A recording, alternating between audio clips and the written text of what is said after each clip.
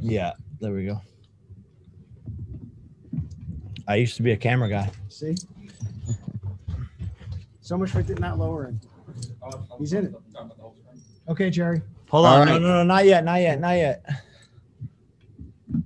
I need to make sure I look good. You're there. All right, we're on. All right. First question is for Joe Lee.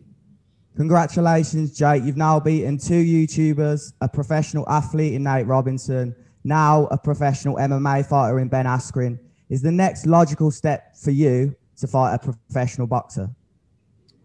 I don't know, man. I'm gonna do whatever I want, honestly. I feel like I'm living in a dream right now. And honestly, I, I don't think I'm gonna be doing good at these interviews right now because I've had so much on my mind in the past 10 days and I've had to hold it together. I've had to persevere through a lot of hard shit, allegations, death.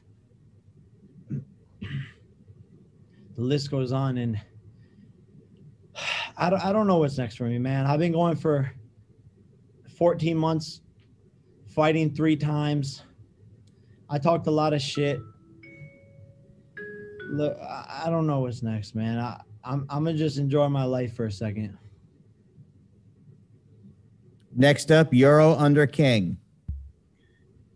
Now, Jake, we don't know what's next, but a lot of people have been calling you out in terms of fighting Joe Fournier earlier in the night, Dillon Danis, and also uh, Tyron Woodley in the corner of Ben Askren tonight. I know you don't know what's next in terms of the things that have happened in your life recently, but could you pinpoint any one of these carriers i- in this? i honestly don't even know who those people are and please don't ask me any dumb questions Next up, Donna Corby. Jake, uh, congratulations on a great result. Uh, after the fight, you were clearly very emotional in uh, in the ring. Of course, like you mentioned, an insane uh, ten days. Obviously, the, the passing of Shadow clearly affected you throughout the week. Could you talk to us about uh, about that moment, uh, just yourself on your knees in the ring?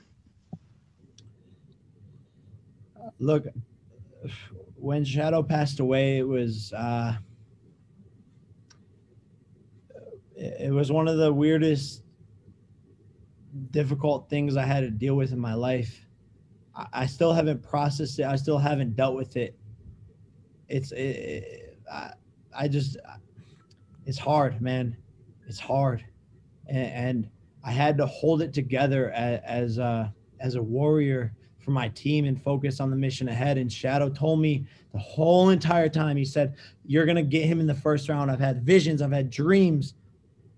when you knock him out in the first round, we're going to get it tattooed. And I had to suppress all my mo- emotions, I had to stay focused. When I got the W,